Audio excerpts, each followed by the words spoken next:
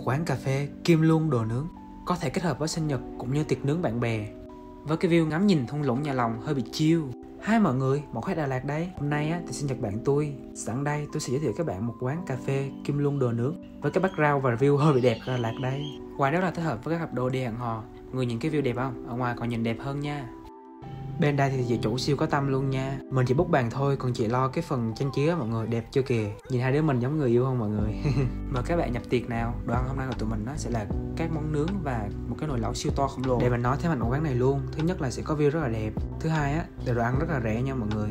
Các món nướng á, thì một trăm rưỡi đổ lại Lẩu từ 200 đến 300 Giá rất là bằng mặt bằng chung Đà Lạt nha. Món nướng tụi mình ăn có đủ luôn heo, bò, rồi sườn, gan ngỗng. Và mỗi thứ sẽ có một công thức ướp riêng nha. Và đồ ở đây rất rất rất là tươi luôn á mọi người. Còn đây là bò nướng tảng nha mọi người.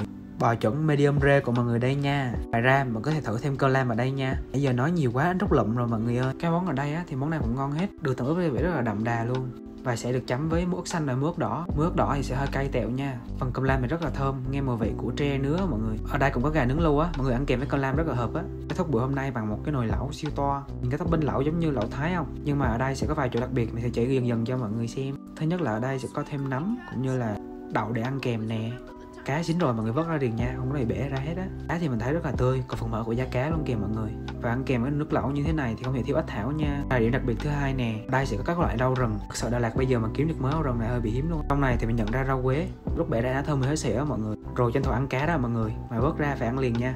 Cá tầm rất là mọng nước và rất là ngọt nha. Kèm thêm muối ớt xanh nữa là nhất nát.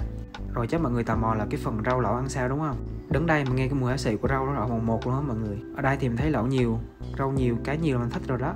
Cái phần rau lẩu khi ăn vào á, khi ăn các loại rau vào á, thì mọi người thấy là đắng mặn ngọt với lại mát mát hơn cổ họng nữa. Rất là thơm mùi há xị luôn á.